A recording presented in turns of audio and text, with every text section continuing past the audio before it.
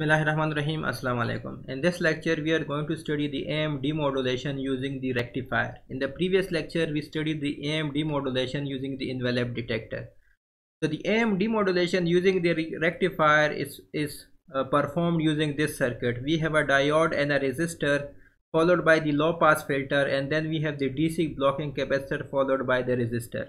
So the AM modulated signal is applied to this diode and the diode is going to uh, remove the negative part of this AM signal. As a result we are going to have only the positive part.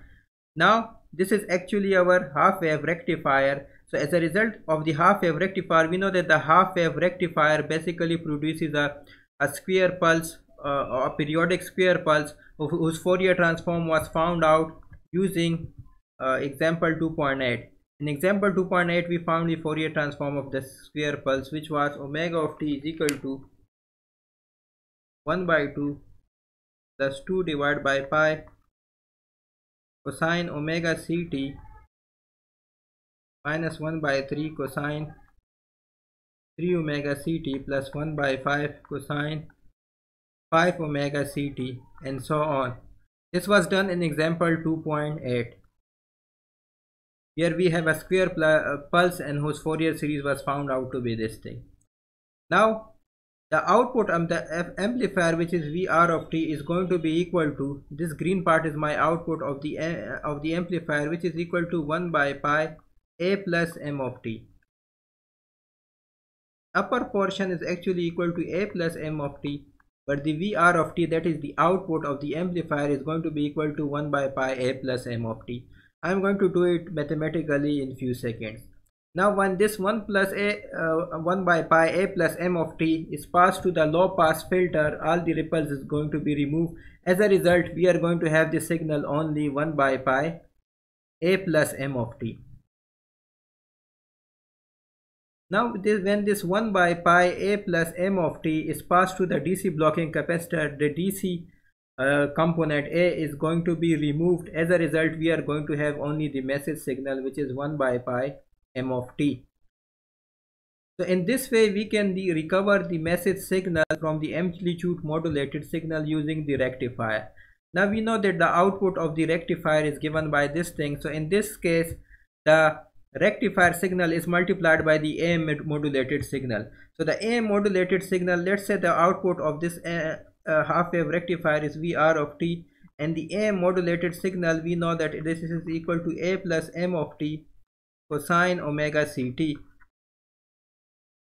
Now this is multiplied by the half wave rectifier which is actually omega t and W of t sorry which is actually W of t and W of t we know that that is given as VR of t is equal to A plus M of t cosine omega ct multiplied by this thing which is 1 by 2 plus 2 by pi into cosine omega ct minus 1 by 3 cosine 3 omega ct plus 1 by 5 cosine 5 omega ct and so on. A t over here as well. Now when this is multiplied we are going to have VR of t is equal to 1 by pi a plus m of t plus other terms of higher frequencies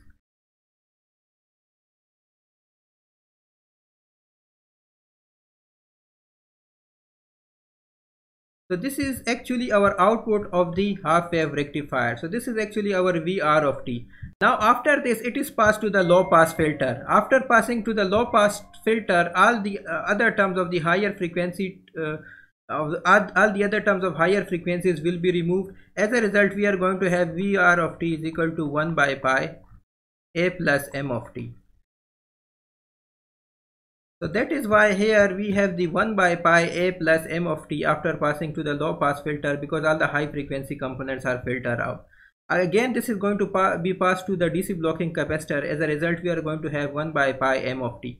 So in this way we can recover the message signal from the amplitude modulated signal using the rectifier. Thank you.